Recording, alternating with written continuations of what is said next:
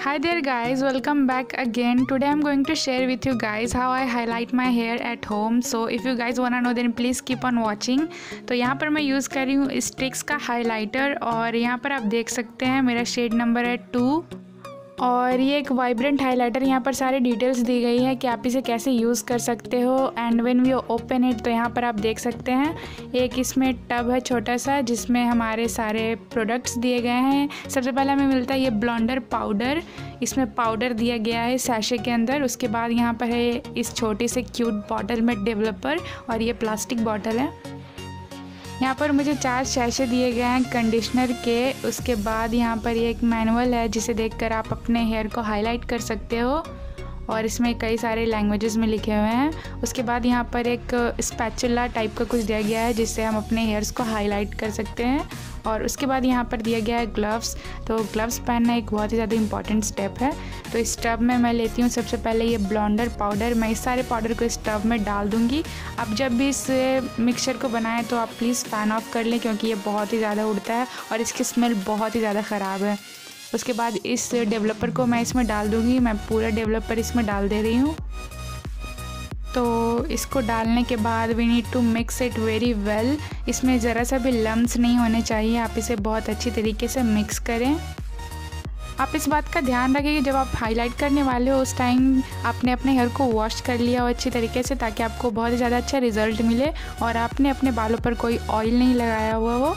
तो ये हो गया मिक्स यहाँ पर मैंने इसे अच्छे से मिक्स कर लिया है, अब इसमें ज़रा सा भी लम्स नहीं है।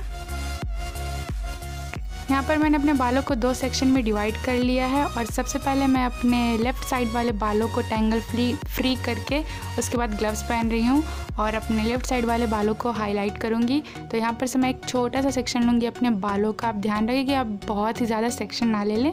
बस एक छोटा सा सेक्शन लेना है। उसके बाद यही सेम ब्रश से मैं इसे अपने हेयर्स पे हाईलाइट वाव अप्लाई करूँगी।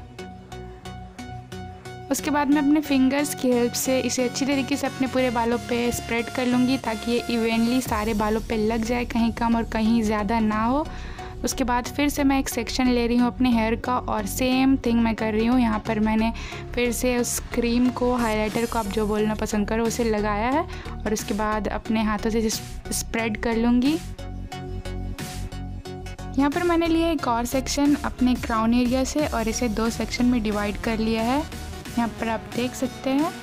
उसके बाद फिर से हम हाईलाइट करेंगे इसे।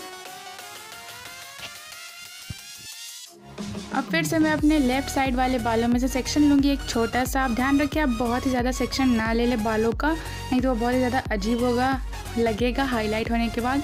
उसके बाद थोड़ा सा गैप करके फिर से मैं एक सेक्शन ले रही हूँ। इसी तरह से मैं तीन सेक्शन लूँगी अपने हेयर्स का। और उसमें ये हाईलाइटिंग क्रीम अप्लाई करूँगी। तो यहाँ पर आप देख सकते हैं कि मैंने यहाँ पर तीन सेक्शन ले लिया है और स्मॉल स्मॉल सेक्शन लिया है मैंने। इसे अप्लाई करने के बाद मैंने 40 मिनट्स के लिए छोड़ दिया था। उसके बाद कंडीशनर मैंने सिर्फ़ यूज़ किया था, मैंने शैम्पू यूज़ नहीं किया था और यहाँ पर आप रिज़ल्ट देख सकते हैं। तो आई होप मेरी वीडियो आपको पसंद आया अगर वीडियो पसंद आया तो मेरे इस वीडियो को लाइक करना और मेरे चैनल को सब्सक्राइब करना ताकि आप मेरे कोई भी वीडियोज़ मिस ना कर पाओ। अब मैं मिलूँगी आप सबने नेक्स्ट वीडियो में। बाय